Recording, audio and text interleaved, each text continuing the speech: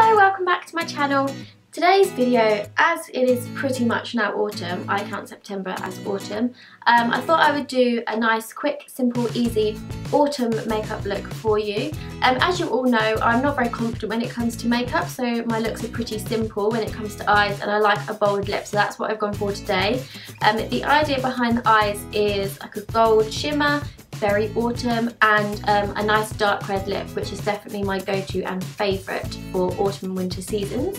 Seasons? Yeah, seasons. Um, so yeah, I'm just going to get straight into it.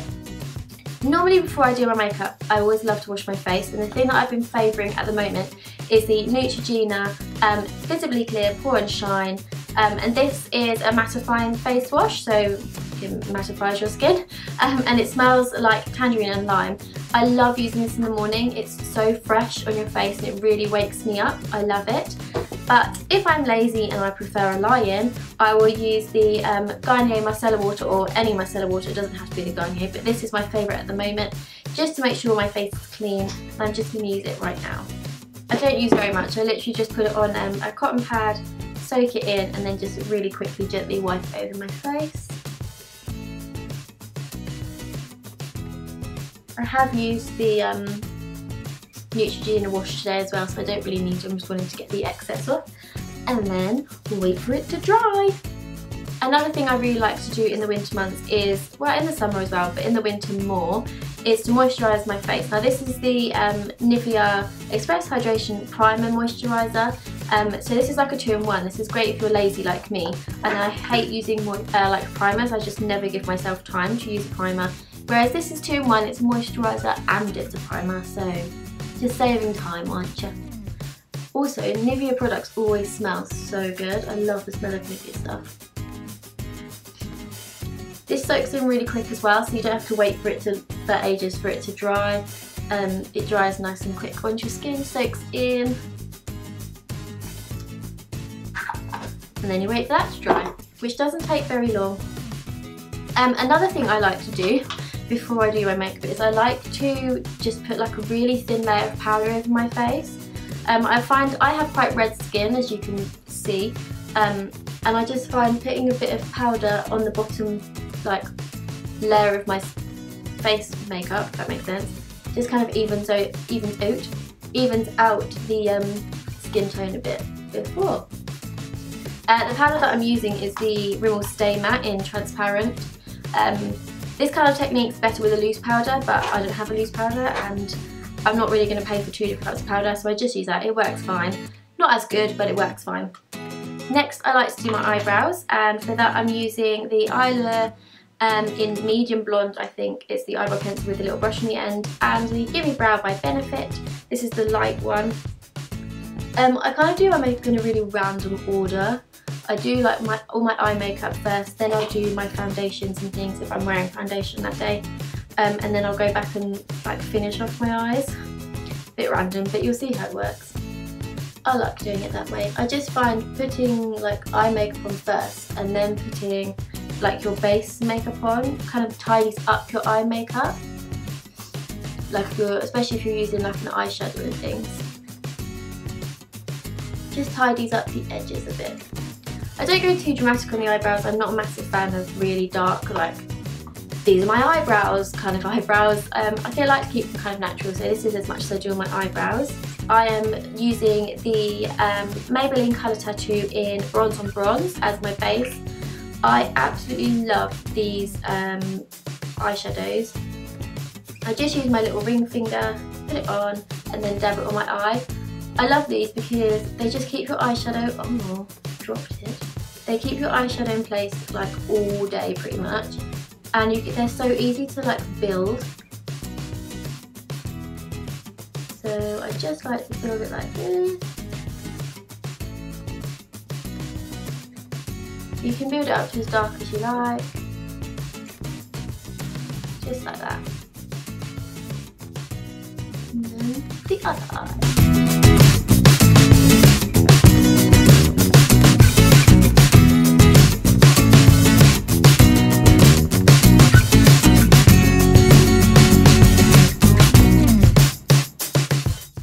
I to put um, a little bit more in the corners, like the outer corner, because um, I blend it out afterwards.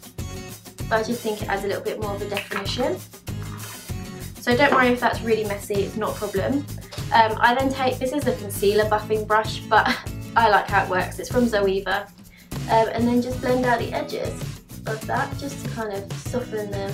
Don't touch the eyelid, keep that nice and nice and bright. Yeah.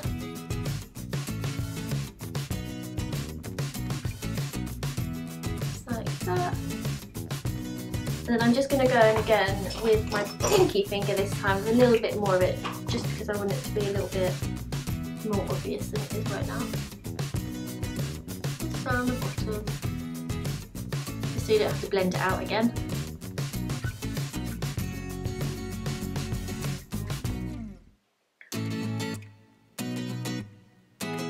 Like that. I love doing makeup, I'm just really don't think I'm very good at it, so I keep everything really simple. I'd love to go for like full out bright eyes, but I kind of usually end up like I've just punished myself. Um, anyway, of that I use Kiko and this one is, doesn't have a colour name, it's kind of a number, so it's number three, but it's just like a marbled effect goldy bronze, hopefully you can see that. I absolutely adore Kiko eyeshadows. They're so easy to use, they're really high pigmented, they last all day I find on top of like a cream eyeshadow and their colours are amazing and they are so cheap. Like, if you're really new to makeup and you just want to, you're just starting out, I would highly recommend Kiko as like your starter kit, just because their products are really good, but they're really, really affordable. Like, I think this eyeshadow is like £2.50. It's crazy and it doesn't look like I've touched it. It's gonna last ages because you just don't need that much at all. Okay. The brush I use for that, by the way, if I haven't said, is the Luxe Soft Definer from Zoeva. And then I'm going to go in um, with the Luxe Petite Crease, just to put a little bit more in the crease. You might think that's a bit weird, but I feel like I just get a bit more of an accurate um, placement if I do it this way. Like that. I'm hoping this is all showing up on camera. Really liking how it looks at the moment. Okay, I'll left this one in the drawer. Camera's gonna shake. Then I like to go in, this is another Kiko. This is in Infinity 201 and it's literally a cream eyeshadow. There's like tiny, tiny bits of glitter in it, like minute bits of glitter. And I just use this as a highlight definer around the of my eye.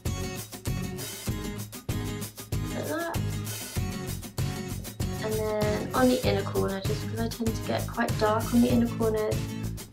I don't get eye like eye bags as such I get dark eyes so around the inside of um, more around the inside of my eye than under my eye if that makes sense.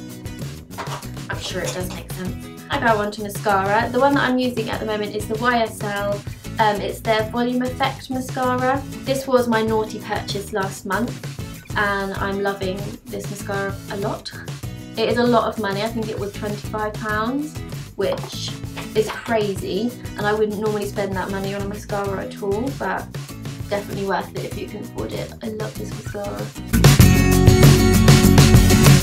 I find it really hard to talk while they're putting mascara on. Probably. It's probably the most unflattering face expressions as well, so enjoy. like that and then onto the other eye it's a really nice mascara to build as well. You like you can put a light um, layer on and then, then go back over it and it builds really really nicely.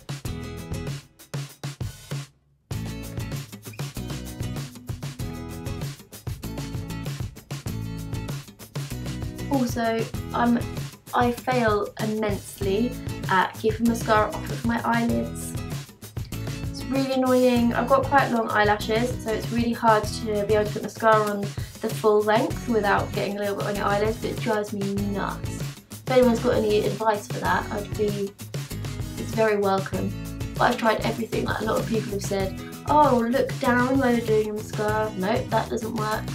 You still end up with mascara on the eyelids.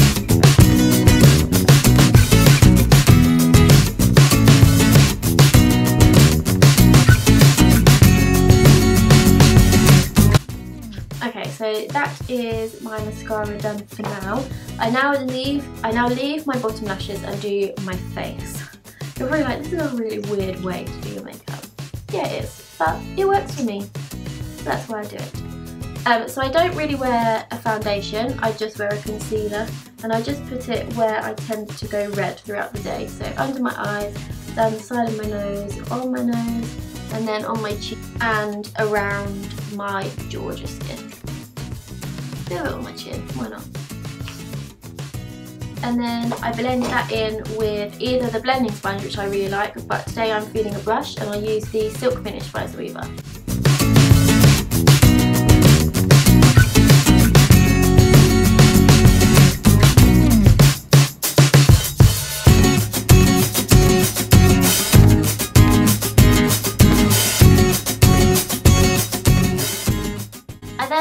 In with a little bit more concealer just under my, under my, under my eyes and around my nose just because that's where my skin really does go red. As you can still see it's red. Just around here. Like that. I get quite flushed. Don't really need blusher because I've got my own natural blusher. Like that. I think I'm getting a cold think everyone at work has had a cold and I'm the only one who hasn't had it and I feel like it's coming. I don't want a cold. I haven't had a cold actually, like a proper full out cold for so long. Well, I've jinxed it now, I'm definitely going to get a cold. On. My next time you see me, I'm going to have like the flu or something. um, then I just like to press around my eyes gently just to make sure it's all like blended in nicely. Okay, then I like to go back in with mascara. I told you I have a really weird way of doing my makeup. I just like to top off the top lashes a little bit just to make them a bit thicker and darker and then I do my bottom lashes. Like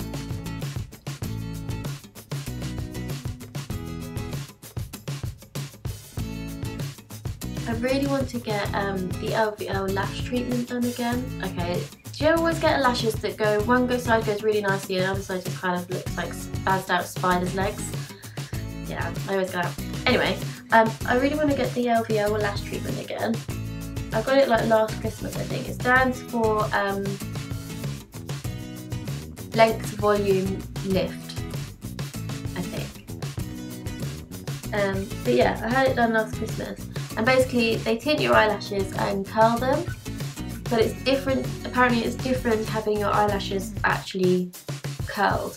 Like, I don't know, I think it's the chemical that they use or something, something's different in it from having your lashes normally curled. But it was amazing and it lasted so long. I actually got it as a Christmas present and loved it. Crazy. I'd have it done again. In fact, I want to have it done again because it makes life so much easier. But I feel like I want it, this bit hurts me.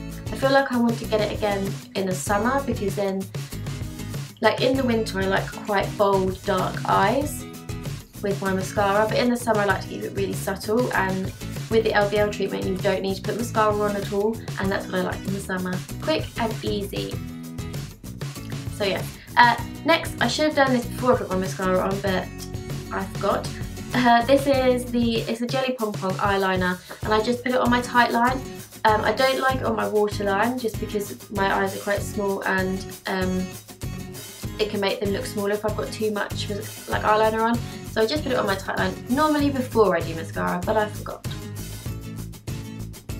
Also, this is another beautiful facial expression that you can all enjoy.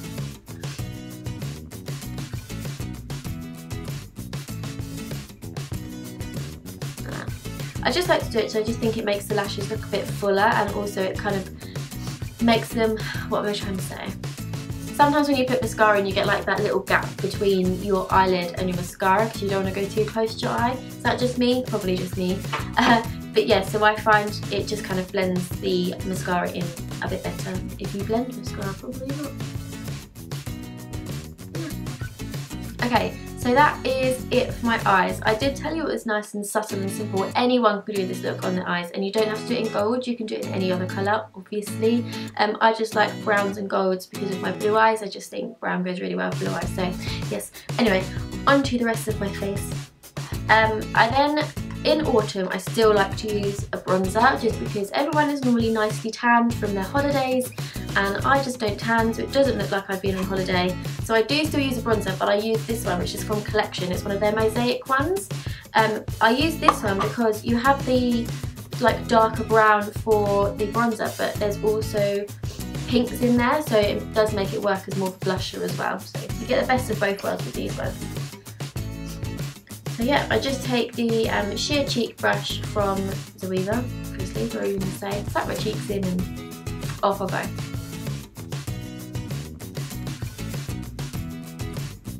I don't use very much.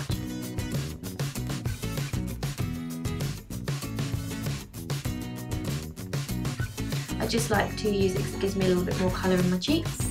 Just a little bit. Just a bit. I've got like a weird red mark there and I, I don't really know why. Mm. Mm. Okay. Um, then I'll go back in with my powder, woo, just to set it all.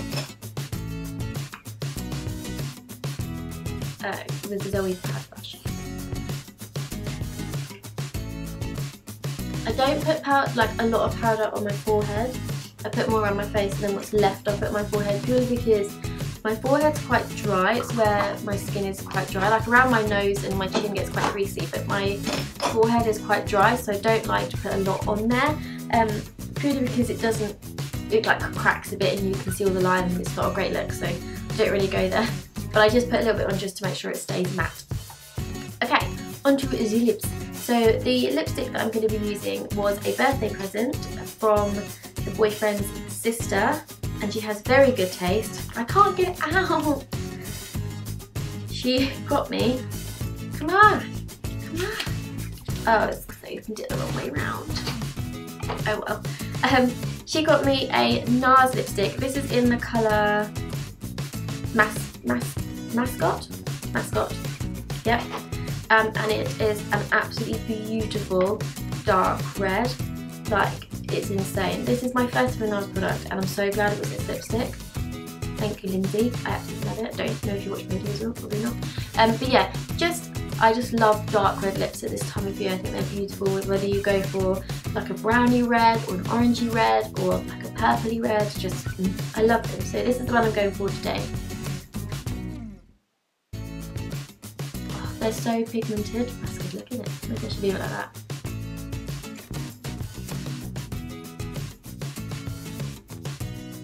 Should probably use an eyeliner with this too, but eyeliner? Mm -mm. Lip liner. But I don't have one in this colour.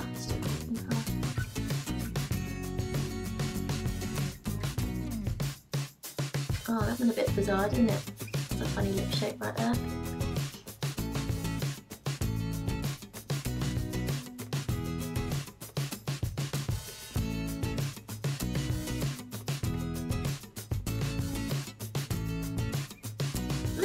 Better at doing lipstick. I'm not amazing, but I'm improving. Finger trick. you don't know what that is, stick your finger in your mouth, pull it out, gets rid of the lipstick that would possibly go on your teeth. I've always used that. I can't even remember who told me that. Someone told me that. Probably mum or the grandmum. Who knows? Okay. So yeah, there you go. That's it. Super, super simple, easy to do. I just love a bold lip and a really subtle eye. I just think it works really well for me. It keeps my eyes nice and big.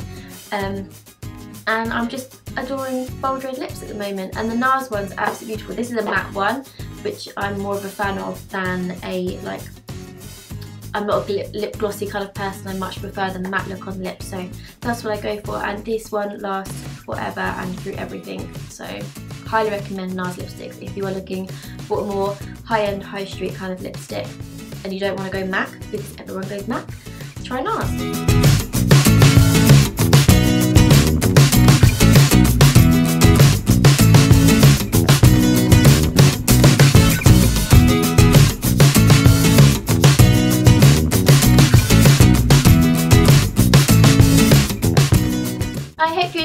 Video. Um, don't forget all my social media links are down below and I'll see you in my next one. Bye!